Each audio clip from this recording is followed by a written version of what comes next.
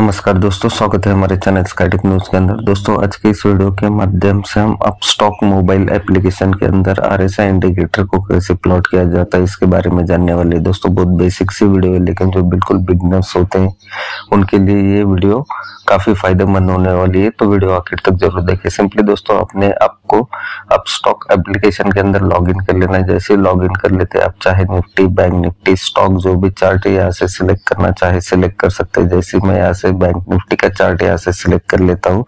तो चार्ट कुछ इस तरह से आपके सामने आ जाएगा। मैंने ऑलरेडी यहाँ पे आर एस आई इंडिकेटर को प्लॉट कर रखा हूँ। आप देख सकते हैं यहाँ पे ए वाला जो आर एस आई इंडिकेटर है, यहाँ पे ये जो आर एस आई की लाइन हमें दिखाई दे रही है, यही आर एस आई इंडिकेटर दोस्तों सिंपली इसे कैसे प्लॉट करना है, यहाँ से मैं इसे हटा देता हूँ। सिंपली आपको क्या करना है, यहाँ पे एफ़ के अंदर चले जाना है। जैसे एफ़ के अंदर जाते आपको यहाँ पे टाइप करना है। और डायरेक्टली आप आरएसआई भी टाइप कर सकते हैं, यहाँ पे रिलेटिव स्ट्रेंथ इंडेक्स एक नंबर पे जो दिखाई दे रहा है, इसे सिलेक्ट कर लेना है।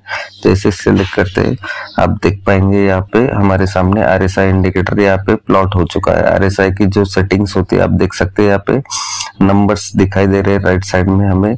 यहाँ पे थर्टी और सेवेंटी, यानी ओवर ओवरबॉट का जो लेवल होता है, यहाँ पे सेवेंटी हमें दिखाई देता है और ओवर सोल्ड का जो लेवल होता है, यहाँ पे थर्टी हमें दिखाई देता है। ये जो बाय डिफ़ॉल्ट सेटिंग होती है, हम यहाँ पे सेटिंग्स के अंदर अगर जाते हैं इनपुट्स के अंदर अगर जाते हैं, आप देख पाएँगे यहाँ पे जो इनपुट जो लेंथ है यहाँ पे आर एस आई की फोर्टीन पीरियड की हमें यहाँ पे दिखाई देती है। इसके अंदर हमें कोई भी चेंज नहीं करना है। स्टाइल के अंदर, अगर स्टाइल के अंदर अगर हम जाते हैं यहाँ पे प्लॉट वाला जो लाइन है, यहाँ पे थोड़ा थिक अगर हम कर लेते हैं जो आपको आसानी से अच्छा दिखाई दे, या आपसे हमें अपर लिमिट के अंदर जाना है, और यहाँ से हमें इसे 50 सिलेक्ट कर देना है। अगर 50 सिलेक्ट कर देते और यहाँ से लोअर लिमिट हमें हटा देना है और इसका जो अपर लिमिट वाला जो लाइन है, इसका थिकनेस बढ़ा के यहाँ से हम इसे बोल्ड कर लेते हैं और इसे हम अगर ओके कर लेते तो आप दिखाई दे, आप देख सकते हैं यहाँ पे जो आर एस आई अगर 50 के ऊपर चलता है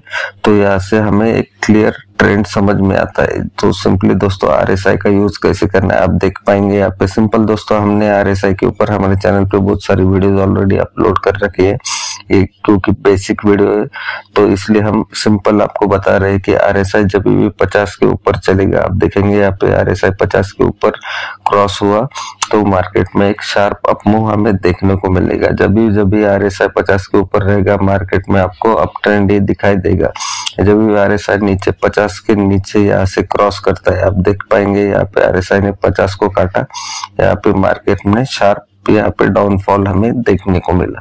तो दोस्तों ये इस तरह से आप अपने जो भी चार्ट पे यहाँ पे निफ्टी, बैंक निफ्टी, स्टॉक यहाँ पे अगर आप स्टॉक की बात करें, स्टॉक पे भी इसे देख सकते हैं। आर एस आई जब पचास के ऊपर चलेगा H D F C bank का स्टॉक है, आप देख सकते हैं। यहाँ पे हमें शार्प अपमूव देखने को मिला। इस जगह आप इजीली चेकआउट कर सकते हैं। R S I fifty line R S I की जो लाइन है फिफ्टी के ऊपर क्रॉस हुई तो आपको शार्प अपमूव यहाँ पे देखने को मिला। तो दोस्तों, इस तरह से आर एस आई इंडिकेटर का यूज़ करके आप अपने ट्रेड्स को प्लान कर सकते हैं। दोस्तों, कोई भी इंडिकेटर हंड्रेड परसेंट वर्क नहीं करता। आपको इसे प्रैक्टिस करना होता है पेपर ट्रेड करना होता है।